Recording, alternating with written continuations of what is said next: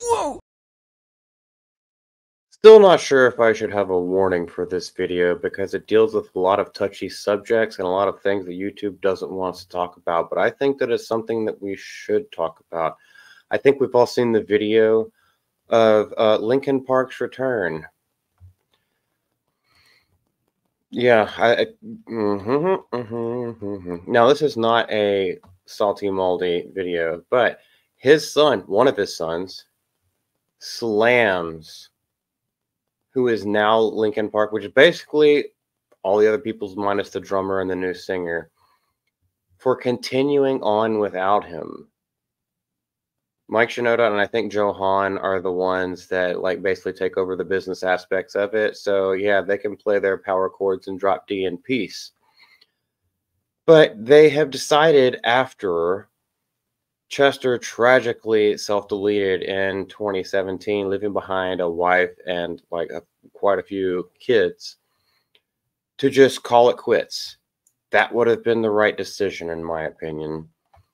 But no, they decided to resurrect because I guess nobody else has anything else going on, and they can just ride that clout hammer all the way down into hopefully uh, more success. I don't think it's going to pan out that way for them.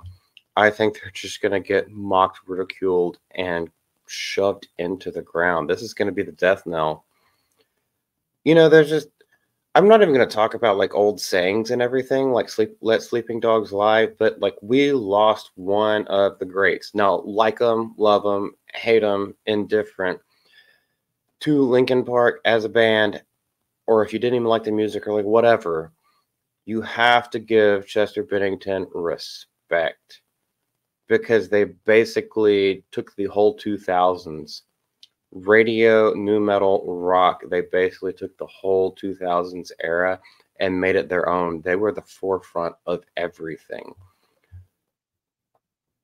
Also, one reason, so I've, I've played in a lot of bands as well uh, in my earlier years, and also done frontman duties, singing and screaming. Chester's ability to go from throat voice to lung voice to head voice to completely clean, that is no easy task. And that does not come natural. That comes with a lot of work, perseverance, and training.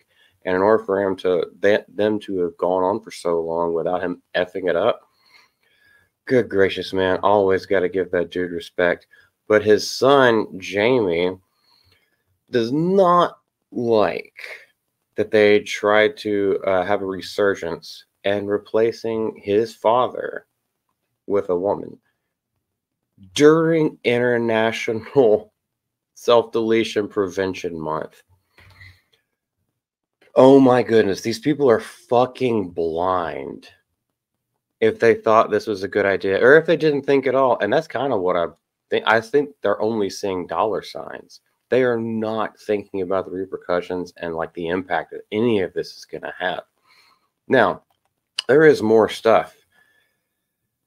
And I'm like, there's a lot of these words I can't say on YouTube, but you can read them if you want. Um, so the new singer apparently has ties with the Church of Scientology.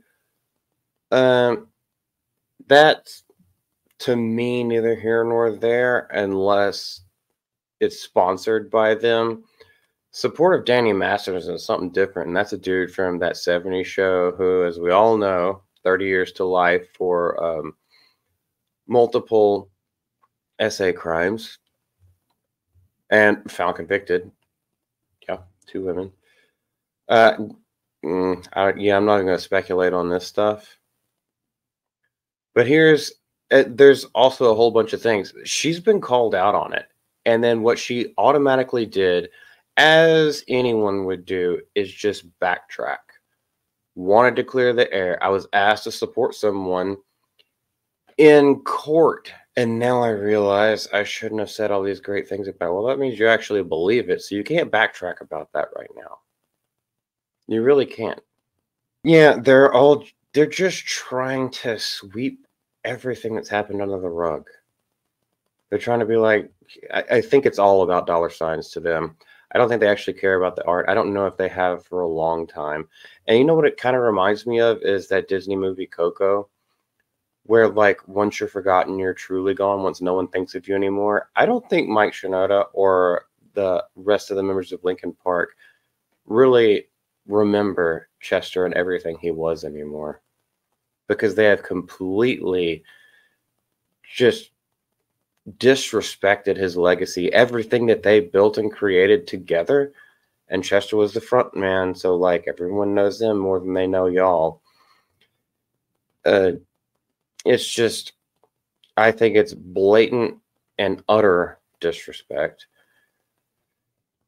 And good gracious, may God have mercy on their souls. This this is just this is despicable behavior, in my opinion. The the son does i want to uh, end with the son's words like you, now you're just senile and tone deaf. And that's a banger. And it truly encapsulates how most of the fans feel. And i'm not even a fan but like i said respect is given where respect is due respect is earned and when respect is due and chester earned my respect for everything this is he sums this up perfectly they're senile and tone deaf.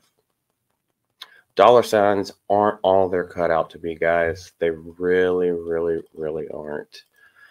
Yes, it's nice to have, but you know, at the disrespect of not only a family, but a man that y'all proclaimed to love and spent so much time with. And like now, well, seven years have passed. Lucky number seven, I guess.